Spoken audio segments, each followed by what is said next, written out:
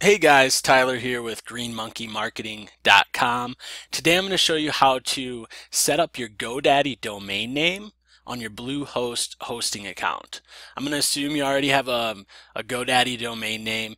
If you don't, get one. And I'm also going to assume that you have Bluehost hosting already set up. If you don't have Bluehost hosting set up, look below this video. We'll get you some discounts on setting up your Bluehost hosting account. Um, cool, so let's dive in. Let's go to the GoDaddy main page. So once you get logged into your account, you're going to go to My Account, visit my account. This will pull up. Let's go to domains and manage domains.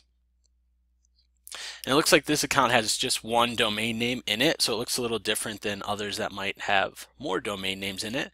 For this, we're going to go to uh, domain details.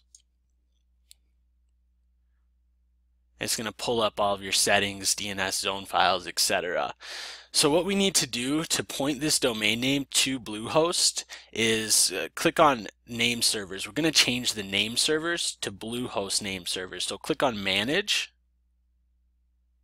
Then we're going to click on custom. Then we're going to add name server.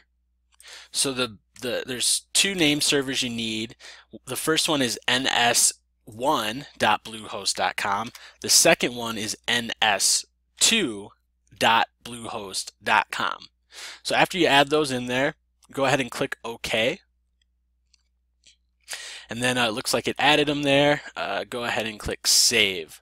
So you've just saved uh, the name servers. It looks like it takes a few minutes to set up the name servers. Usually it's pretty quick. So let's go over to Bluehost and see if it worked. Okay, so this is the main Bluehost page. This little thing comes up, so just exit that out. Go right into your domains tab at the top next to hosting. Once you get in there, um, you'll see shortcuts. Uh, click on assign a domain name to your cPanel account. Cool, so the domain, I'm going to go back to GoDaddy to get the domain name.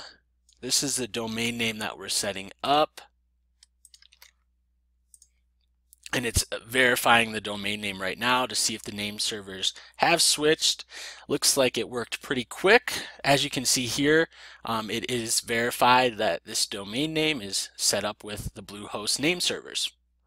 Then you're going to want to go down and uh, don't worry about any of this stuff. It's pretty stock. Just go ahead and assign this domain. It takes a, uh, a few seconds to to load this, but that's pretty much it.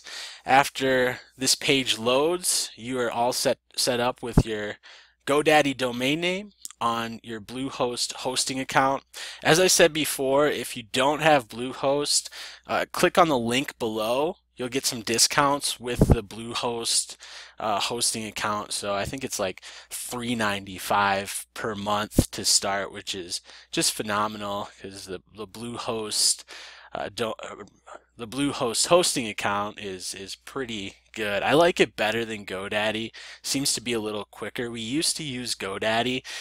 It's just really slow. So we switched to Bluehost and have seen phenomenal results. Um, looks like this thing is still loading.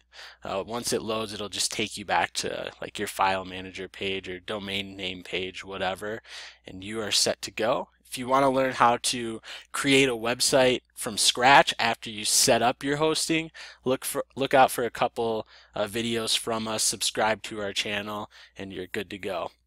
So took a while, but as you can see, it is now set up on our hosting account.